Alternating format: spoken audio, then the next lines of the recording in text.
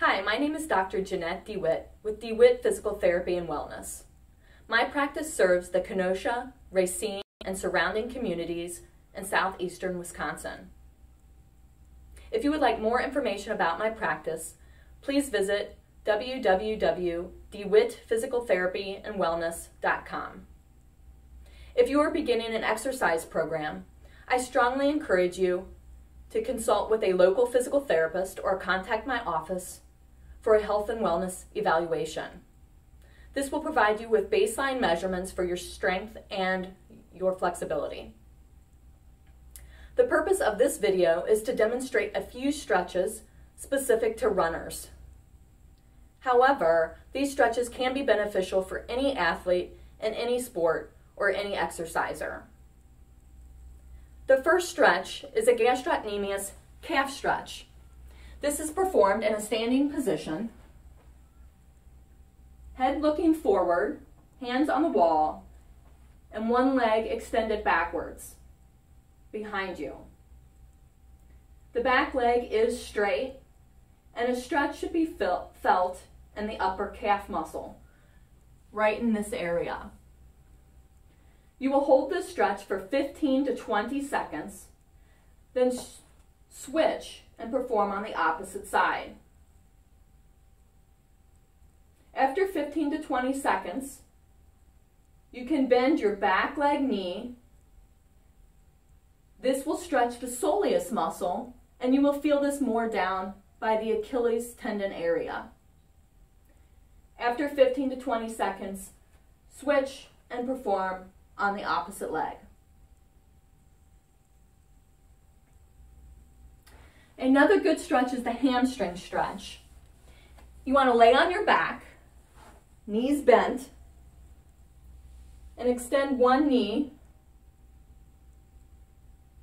For more of a stretch, point your toes down toward your nose and hold 15 to 20 seconds.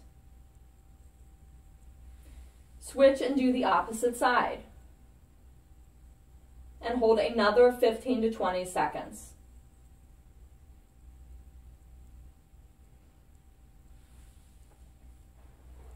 Because we sit a lot during our work days or as students at a desk, our hip flexor muscles in the front of our hip can get very tight. Thus, a hip flexor stretch is a very important stretch. You perform this by squeezing your gluteal muscles, keeping your belly button drawn into your spine and your back or spine upright. If you don't feel a stretch in this position, then you can lean slightly forward. Hold 15 to 20 seconds, then perform on the opposite side. Again, squeeze your gluteal muscles. Keep your abdominals tight by drawing your belly button in towards your spine. And keep your spine straight. If you don't feel a stretch, you may lean slightly forward.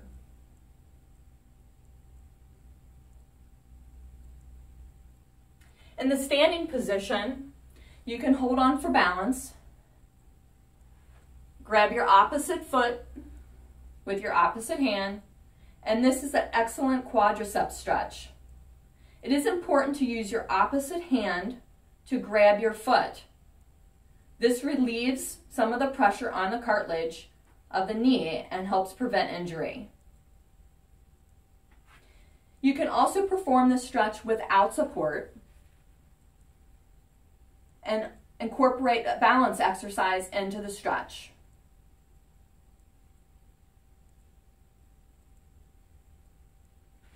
An excellent stretch for the hip and IT band is the IT band or iliotibial band stretch. You cross your leg and reach to the side. You can use a wall for support and hold 15 to 20 seconds. Switch sides. You can also perform this exercise without a wall for support and hold 15 to 20 seconds. All static stretches can be held for 15 to 20 seconds without bouncing. This helps promote flexibility, and improve circulation to reduce muscle soreness following a workout.